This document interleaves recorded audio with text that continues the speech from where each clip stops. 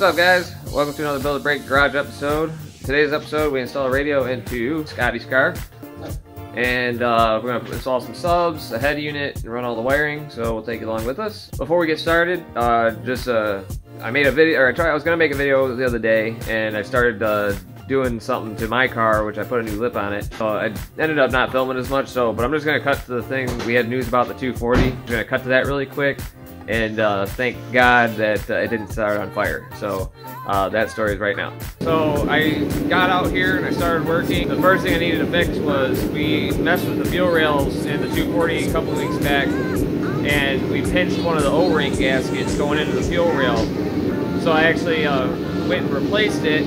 As you can see right here, it'll focus. It's an O-ring on uh, number three, and so it was just pull and fuel all over the place. Well, I went and fixed it, and thought I got it all got all seated back in the injector rail, which clearly I didn't, because uh, all of that, yeah, that's all gas, and you also that's the that's the fire extinguisher. Because as you can hear, we're running the torpedo, so that makes it super sketch.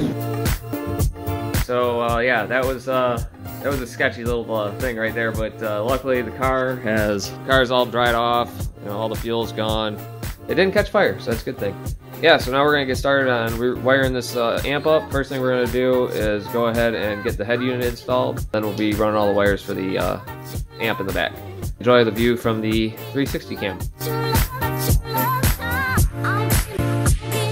So first things first, go ahead and get this shroud off around the radio, which is easy. There's two push-in clips, like right here. You just push in the center and then pop them right out. And then it's two 7 mil bolts right up top here. And I believe that's it. I haven't pulled a stock radio in a Saturn in a while, so hopefully I didn't forget how to do it. we'll check in once the new head unit is in. Okay, well, we just ran into our first little speed bump here. So, basically, Scotty got this stereo connector, which says clearly is for Saturns 91 to 99, but this, like, it almost lines up, but it doesn't. So, looks like we're making a little trip to go find one that actually does work. So, we'll probably take that old one with us. So we got uh, the right plug now. We went to the store and got it. So now I have to take all this spaghetti and hook it all up. Uh, then it's just a matter of installing it into the car. So now comes the tedious process of wiring all this crap up.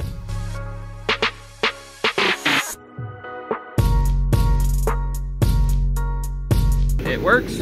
Radio's all good. It's mounted. So now it's a matter of running all these all the way to the back through the bottom. Next thing to do is the subs. Now the fun part begins. Alright, so we just got the power wire ran for the amp, and uh, best way to do it on these cars, especially being an automatic, is I normally take out the plug for where the uh, slave cylinder would normally go, and since it's an automatic, it doesn't have it, so I drill a hole through that rubber grommet, and I run the wire right up through here, and we just put it right into the fuse box. And then uh, in the inside, I run it up over and I'm running all the wires through here. I run them under the carpet here and then they go up to the rear speakers. Super easy. Once we start wiring up the amp, I'll uh, show you guys that too. Okay, so we got the wires all ran to the amp. We're just about to hook them up. I got a nice ground source here, handed down the panel. Uh, mounted the amp onto the back of the stair or back of the seat here, so it folds up and down.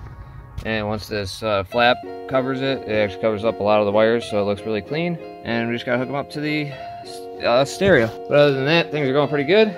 We'll check in with you when we start making noise. We got done installing it. Uh, let me show you guys the finished product. So, obviously, we got the subs back here. It's gonna be impossible to see that. I won't pull down his back seat, but you saw where the amp was. We got all the wires nice and tucked away, so it looks really good. It hits like crazy. like, it's way, way louder than the stuff I've got it works out great for him. That's what he likes. So but, uh, we are definitely done for the day. I don't really have anything else planned, so we're gonna leave it off here. Uh, thank you guys for watching. Be sure to give us a like, comment, subscribe, and be sure to comment some suggestions of what other things you might want to see. Like again, keep it easy. Um, like motor swaps and stuff. I mean, eventually we'll get to that stuff, but I mean, for right now, come on, let's uh, you know, simple stuff. but uh, thank you for watching, and uh, you guys have a great day. Peace.